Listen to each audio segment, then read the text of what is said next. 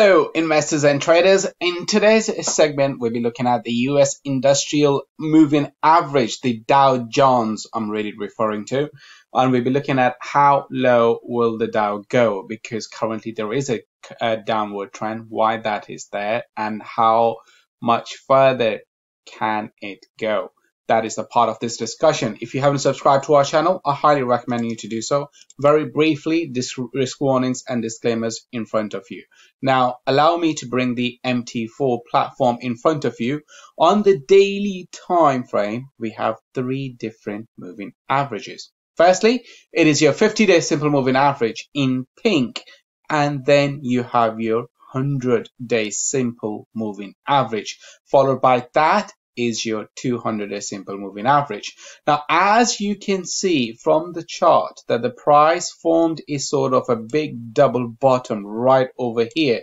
The first one be, being over here and then the second one being over here. The price started to drop gradually from there. It broke the 50 day simple moving average after some challenging to, uh, time or after two challenging days and then even on the third day, the price did come back, try to come back above the 50 day simple moving average, but it failed and it retested it, the 100 day simple moving average. And then the battle is the battle continues from there onwards and it is still on as of today because the market is unsure where the prices are really going to go from here onwards.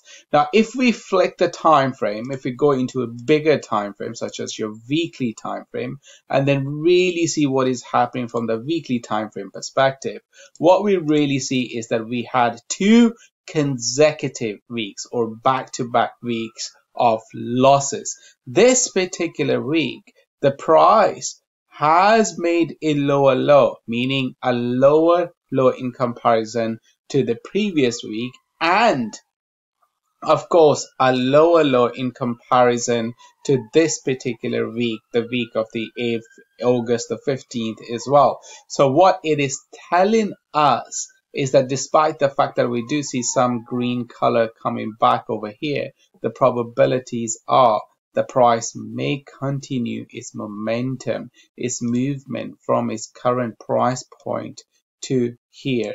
Unless, of course, the price, what it does is if it breaks above the highs of this particular week. Because if the price moves back up, then the likely chances are that we are more likely to face this all-time high once again.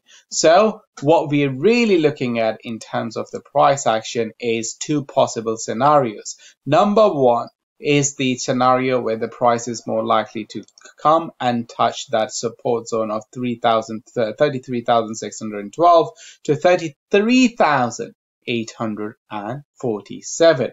Now, the other scenario where we are also focused on in terms of the price action is if the price breaks above the highs of this week, then we are likely to see the continuation of this trend. And that means the price is likely to challenge the all-time high. In other words, that 35,446 sort of a price level. Now, if we look at the RSI, the RSI is trading to the downside. It is away or has eased off from its overbought area, but it is still quite far from reaching that 30 mark, which is considered as the oversold area. Now, the last time we saw the price coming into this area was February last year when the coronavirus really hit the economy and everything happened. And ever since, the price hasn't really visited that area, although more recently, the price has been trading, uh, the RSI has been trading in a downward trend and likely to come into these areas in the coming weeks or so.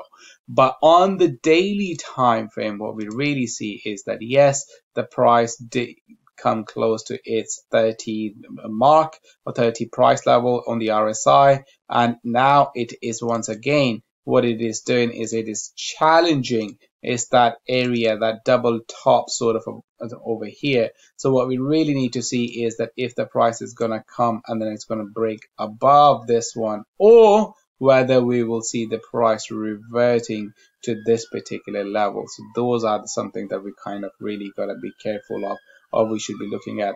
So either we're going to go to the upside over here or either we're going to go to the downside it's very much going to be determined between these two lines, this line and that line. And that will really tell us the which way the Dow Jones Industrial Average is really likely to move. That's all for now. Stay safe and I'll see you guys next week.